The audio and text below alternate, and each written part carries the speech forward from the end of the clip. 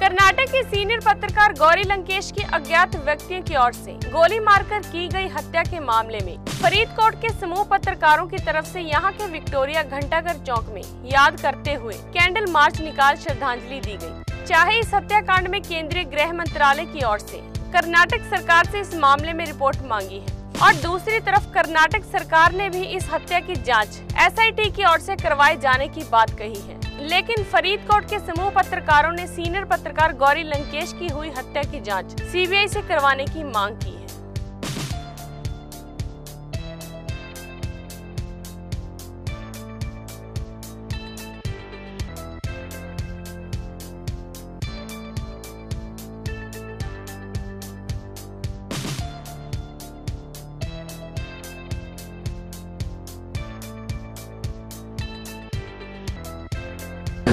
ਲੋਕਤੰਤਰ ਦੇ ਜਿਹੜਾ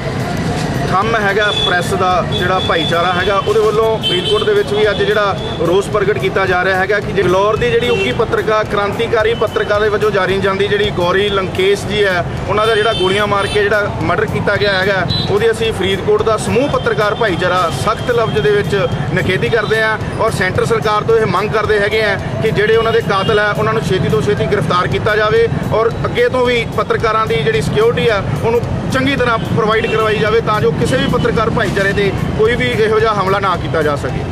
ਗੋਰੀ ਲਕੇਸ਼। ਗੋਰੀ ਲੰਕੇਸ਼ ਅਮਰ ਰਹੇ।